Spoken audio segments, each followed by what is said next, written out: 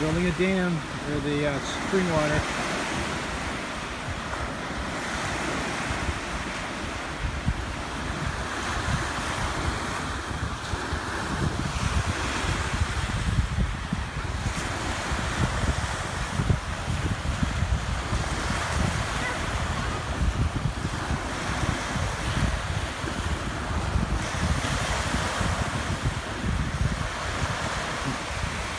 Done.